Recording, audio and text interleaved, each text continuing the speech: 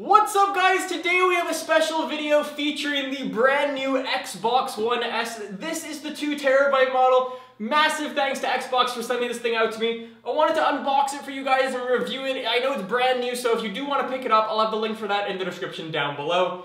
Let's jump into this guy and just check this thing out. Before we do, I just want to make a cool, cool little comparison. This is an Xbox One S in its box still. That's that big.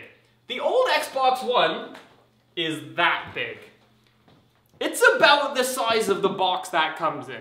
Also, if you do want to use the Xbox One, you need that. That is a power cord or a power brick that you need for that. Out with the old and in with the new.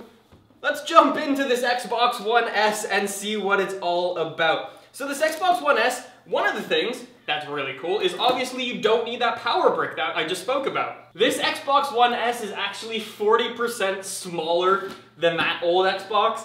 And when I first saw it for the first time ever, it was just like, oh my god, how does it even run stuff? So it, you got some instructions in there. Nothing too complicated for an Xbox One. It also comes with a brand new controller, which is actually really nice. So we'll get into that. Oh, I've got, they gave me 14 days of Xbox Live. I'm gonna have to cover up that code. So in here we have Oh, this is a stand for the brand new Xbox One S, because one of the features for the brand new Xbox One S is that it can stand upright.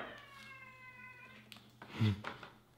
Apparently he wants to be in the video too. One of the complaints with the old Xbox One is that you had to have it sitting like this or else it would just not work. You wouldn't be able to tilt it vertical up and it just, it just didn't work. So anyways, you now get that. That will allow your Xbox One S to stand straight up and it can look really cool. What else is in this box? Let's see and some health and safety things which no one needs. In here, what do we have in here? A white box. Let's open this guy up and see what's in here. Oh, wow!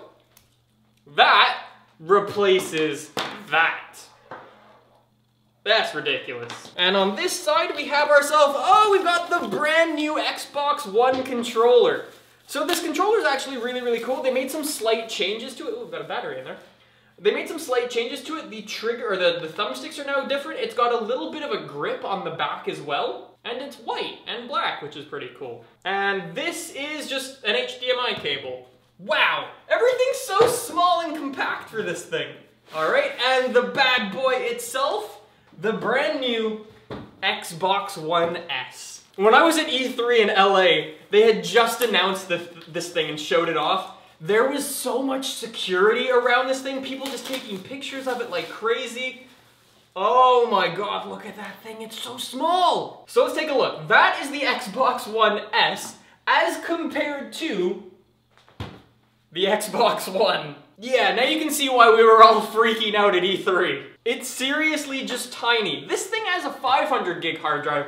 This thing has two terabytes. This thing actually starts at 299 and you can go all the way up to 399 for this guy. I'll include all the information you guys need to know about this Xbox One S in the description down below if you do want to check it out and pick it up for yourself like I said. There are some really cool new features actually with this new Xbox One S. It can run 4K, so if you use uh, Netflix, Netflix now supports 4K, so you can stream your videos in 4K. The same thing with the Blu-ray player, you can do 4K on that as well, which is really nice. The Xbox One S also features HDR and it has HDR support, which is really cool for games and stuff like that. So games like Gears of War 4 and Forza Horizon 3 actually all use HDR in their games now, which is really, really cool, and you'll get all that features and all that support on the Xbox One S. One thing I actually forgot to mention about the controller is it now actually has Bluetooth integrated to it, which means you can use it on your PC or your, or your Windows tablets, which are just really cool. So this Xbox One S comes out today when you guys see this. You can pick up the 500 gigabyte model for 299, or you can get the same one I have here, the 2 terabyte model for 399. It's just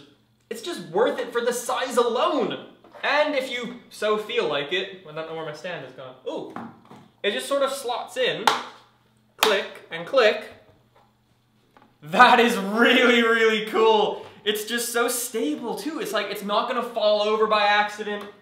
That's a really cool feature. I don't know if I'll be using it. Actually, yes, I will be using that. It's way better than what I was doing. So that segment you just saw was filmed last week. I've had a bunch of time to play with the brand new Xbox One S since then, and seriously, I've just been enjoying it. It's just exactly what you need an Xbox One to do. Except it comes with a bigger hard drive if you get that one.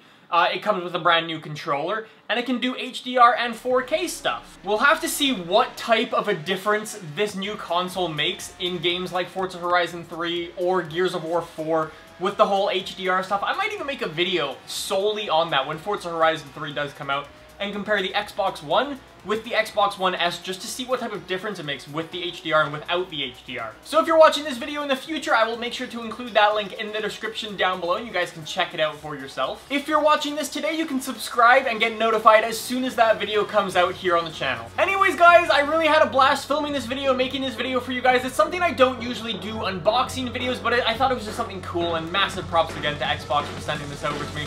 Anyways, guys, more information is going to be in the description down below if you want to know anything else about this Xbox One. Check it out. I'll see you guys in the next one.